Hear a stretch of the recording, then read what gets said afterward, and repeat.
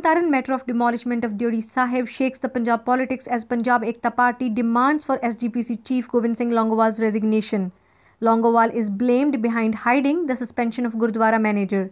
PAP party goes to an extent by stating that SGPC members are trying to scam money for the sake of rebuilding the Diodi Sahib.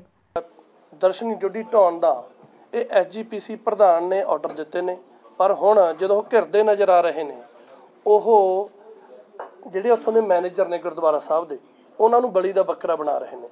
ਕਿਉਂਕਿ ਲੋਕ ਤਾਂ ਇਮਾਰਤਾਂ ਨੂੰ ਸੰਭਾਲਦੇ ਨੇ। ਠੀਕ ਹੈ ਜੀ, ਮਹਾਰਾਜਾ ਰਣਜੀਤ ਸਿੰਘ ਦੇ ਬੇਟੇ ਨੇ ਬਣਵਾਈ ਸੀਗੀ ਦਰਸ਼ਨ ਜੋਡੀ। ਕੋਈ ਉਹਨੂੰ ਕੁਝ ਹੋਇਆ ਨਹੀਂ ਸੀ, ਕਿਸੇ ਖਸਤਾ ਹਾਲਤ ਵਿੱਚ ਨਹੀਂ ਸੀਗੀ ਉਹ। ਔਰ ਜੇ ਹੁੰਦੀ ਵੀ, ਤਾਂ ਆਪਾਂ ਉਹ ਇਮਾਰਤਾਂ ਨੂੰ ਜਿਹੜੀਆਂ ਨੂੰ ਸੰਭਾਲਦੇ ਆ ਰਿਪੇਅਰ ਕਰਵਾਉਂਦੇ ਆ ਪਰ ਦੇਖੋ ਜੀ ਐਸਆਈਟੀ ਤਾਂ ਆਪਾਂ ਬਣਾਉਂਦੇ ਰਹਿੰਦੇ ਆ ਹਨਾ। ਇਹ ਤਾਂ ਹੁਣ ਸਾਫ਼-ਸਾਫ਼ ਦਿਸਦਾ। ਹਾਂ, ਇਹਦੀ ਜਾਂਚ ਹੋਣੀ ਚਾਹੀਦੀ ਹੈ। ਔਰ ਅਸੀਂ ਪਹਿਲਾਂ ਤਾਂ ਅਸਤੀਫਾ ਮੰਗਦੇ ਆ ਜੀ, ਜਿਹੜੇ ਪ੍ਰਧਾਨ ਨੇ, ਉਹਨਾਂ ਤੋਂ ਅਸਤੀਫਾ ਮੰਗਦੇ ਆ ਜੀਪੀਸੀ ਦੇ ਗੋਬਿੰਦ ਸਿੰਘ ਲੌਂਗੋਵਾਲ ਤੋਂ, ਕਿਉਂਕਿ ਉਹਨਾਂ ਨੇ ਆਰਡਰ ਦਿੱਤਾ। ਉਹਨਾਂ ਦੇ ਆਰਡਰਾਂ ਬਿਨਾ ਅਜਿਹਾ ਕੰਮ ਨਹੀਂ ਹੁੰਦਾ। ਇੱਕ ਪ੍ਰਧਾਨ, ਇੱਕ ਜਿਹੜਾ ਕੋਈ ਗੁਰਦੁਆਰੇ ਦਾ ਮੈਨੇਜਰ ਹੁੰਦਾ, ਉਹ ਅਜਿਹਾ ਫੈਸਲਾ, ਐਡਾ ਵੱਡਾ ਫੈਸਲਾ ਨਹੀਂ ਲੈ ਸਕਦਾ। Bureau report Ludhiana for white Punjab express.